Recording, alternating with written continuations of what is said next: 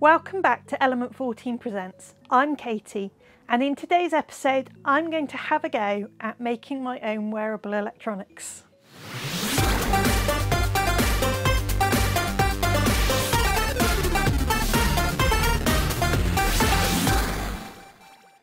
So there's a bit of a backstory to this project. I saw Arduino came out with the uh, Arduino Uno Mini Gold limited edition board. And I thought that looks cool. But then I thought essentially what's going to happen with a limited edition board is it's going to sit on my shelf up there along with my original Raspberry Pi and other boards. Or it's going to end up in one of these boxes. I'm pretty sure I'm not the only person who has a few boxes full of various dev boards that they've bought over time.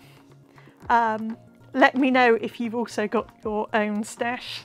Hopefully I'm not alone with this uh, collection. But I thought it seemed a real shame for this to end up with one of those fates. So I started thinking about if I got one, what I could do with it that would put it on display um, and make actually use it rather than it just sitting stationary. So I came up with the idea of a piece of wearable electronics. So that's my starting point is this board. My aim is something that I can wear that will put this Arduino on display, make it a feature of the project rather than it just being a board inside a box where you can't tell that it is the gold edition. Let's get started.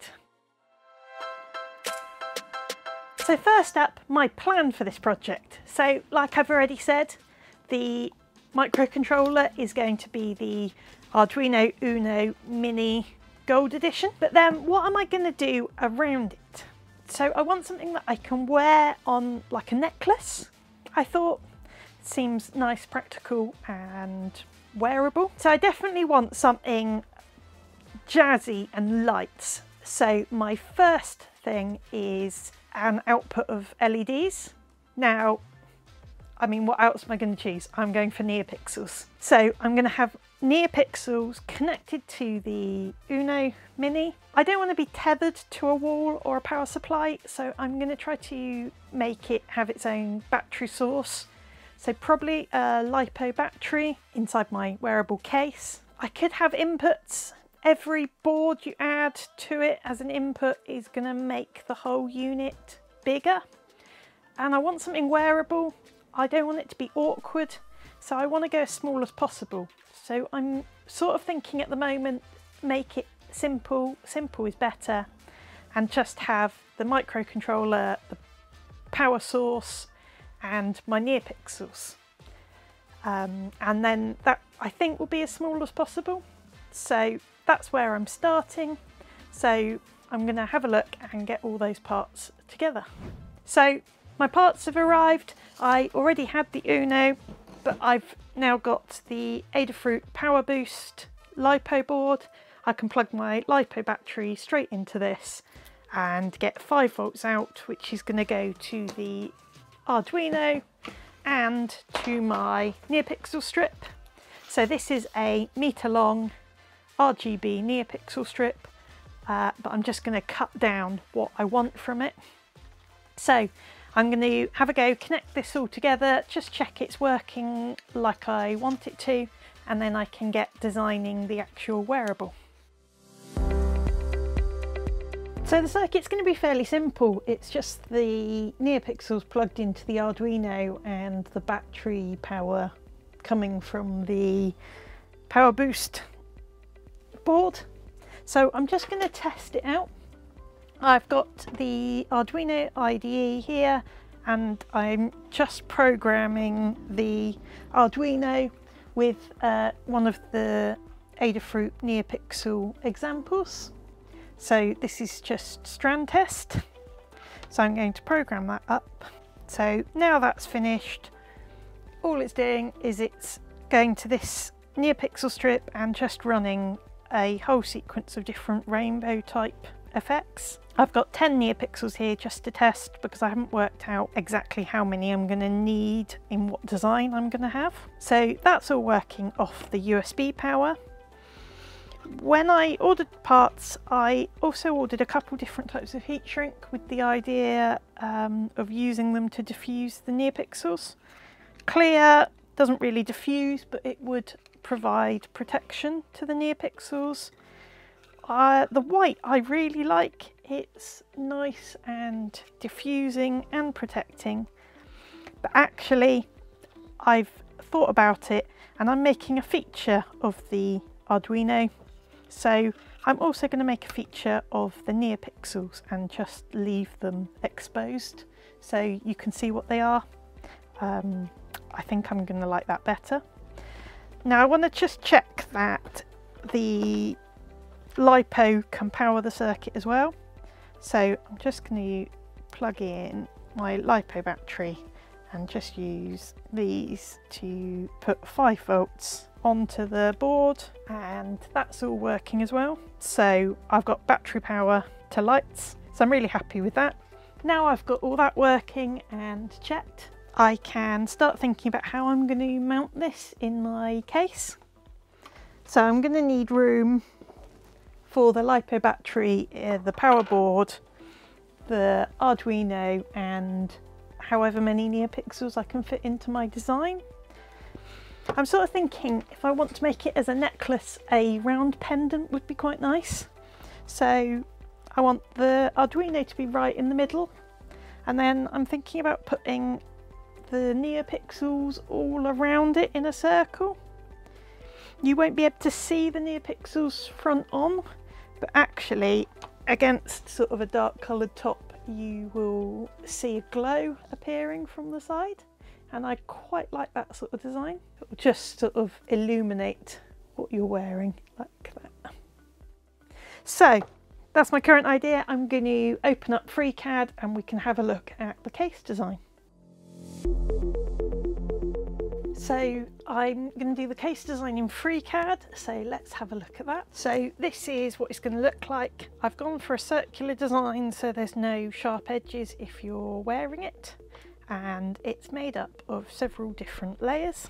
So this is my top layer. I wanted to make sure the Uno was a feature. So this is going to be cut out of 2 mil acrylic sheet. You might have noticed in my videos before I've never used um, a cut sheet because I don't have a laser cutter or a CNC machine. Um, so I have hand cut one in like the barometer one.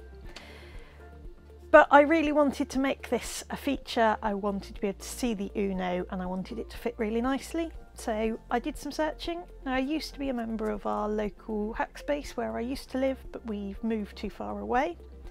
And there's nothing like that in our area. But then on searching, I found that there's a, another local maker who actually opens up his workshop uh, once a month that you can give a donation and come and use his equipment, which includes a CNC machine and a laser cutter. So I actually went there and I've laser cut this top panel. So I'm really pleased with that. I finally found a way that I can use laser cutting in my projects, so that's really good. So if you're in that sort of situation, it's just worth searching and seeing if anyone provides something like that. I'm really pleased I found it. So that's my top layer. It's got these cutouts here because when I put the body and the Uno on, the Uno will actually, the headers will sit flush with the top of this sheet and has a cutout. So I'll still be able to plug things in if I want to add anything um, or change settings. I've got all that functionality still available. You'll spot throughout the whole design I've got these five holes which is where it's going to bolt together. So in the bottom design I'm going to put um, heat set threaded inserts and then I can sort of bolt it together from both sides and we won't have the nuts visible so that should make it look nice and sleek, hopefully. If I go back to the body, this is where the Uno is going to sit and it's got slots in the back for wires to pass through. This is going to sit on top of this bottom. Now it's slightly narrower because the NeoPixel is going to sit in this channel in the bottom around this middle section and that will just keep the NeoPixels all the way around the edge. The bottom has space for my LiPo battery and my uh, power boost circuit. And underneath I've got a little slot here for an on-off switch. And then I've got my attachment layer. Uh, and this is just sort of a flat layer. It's got a bit there to meet the back of the switch to stop it being pushed in but it's just got a channel where I can feed through a thread or a cord to make it into a necklace so that's my case design I'm going to send the bits to the 3d printer now and then once they're printed we can assemble it.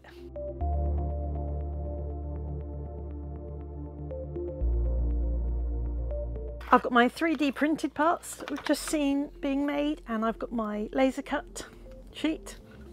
So now I can assemble them. So I've got my board that we were testing. So I need this board, but this NeoPixel strip's too short. So we're going to cut a strip to length that will fit in this groove around here.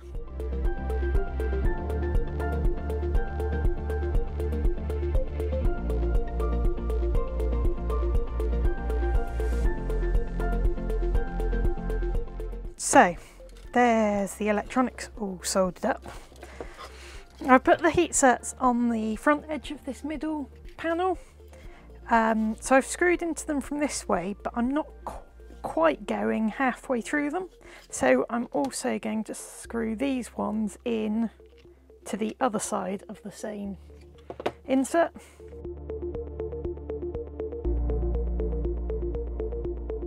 Now we're ready for a grand switch on. Do you like free stuff? You can join the RoadTest program. You can get free dev kits, test equipment and even online training courses in exchange for a detailed review. Join our RoadTest program. Learn more at the link below. Ah, free stuff.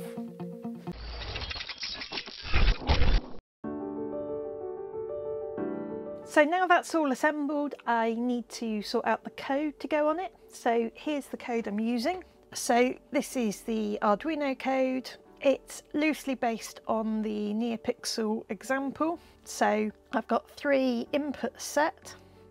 So then I've got five different modes. I've got a rainbow, a sort of different moving rainbow effect, a purple colour, a all white extra bright torch sort of mode, and uh, this mode 4 which sets it to all red. We'll have a look at that in a minute. So I'm reading those three input pins and if you put a wire in the three inputs, pin 8, 9 or 10, it will swap between mode 1, 2 and 3. If you don't do anything, it will go on mode 1. And mode 4 is if it detects low battery because the LiPo board I'm using can give a low battery warning, then it will go into that mode 4 where it will go super low brightness and set all to red. And then these are the rainbows, which is the example code.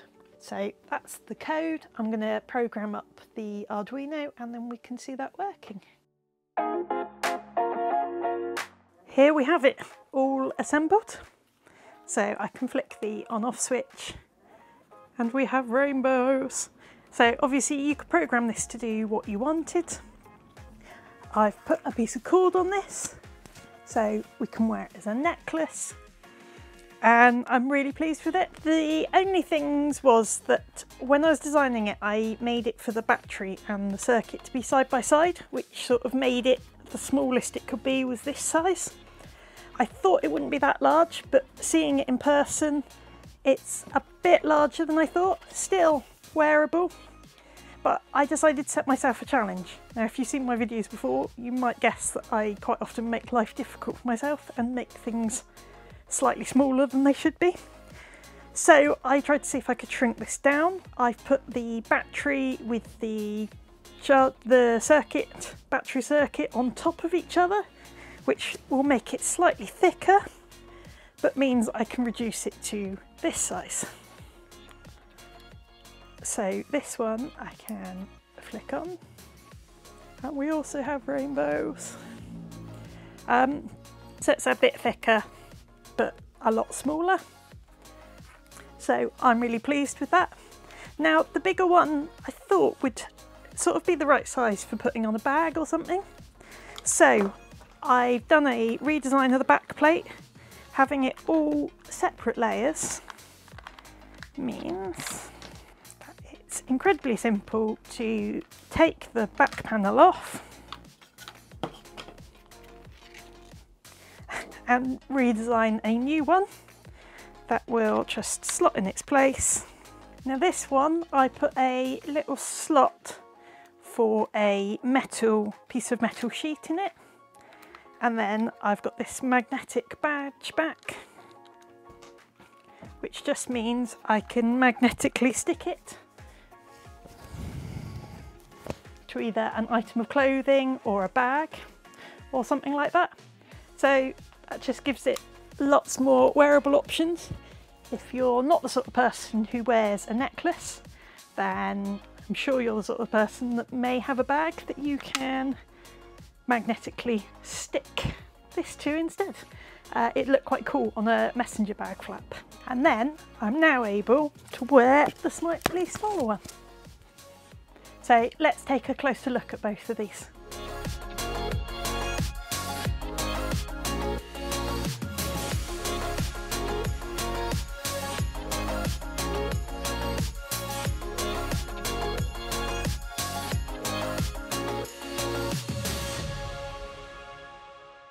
So I'm really pleased with how this project's come out. I really like the big one, but now I've done the small version, I really like the small one as well. It's just what I thought. It's making a feature of the Arduino Uno limited edition mini. Uh, it's got a lot of NeoPixels that I can program to do anything I want. You can use the header pins to change modes, to plug in a sensor, do anything you want still on there. I really like them. It's come out just like I wanted. So let me know in the comments on the Element 14 community at the link below uh, what you think of them. Let me know if you're to do the same, uh, if you think I should have done something differently. Um, and just let me know if you'd like more like this, because I could do more wearables if you guys like it. Just let me know what you think. But for now, that's all. So I'll see you next time. Bye.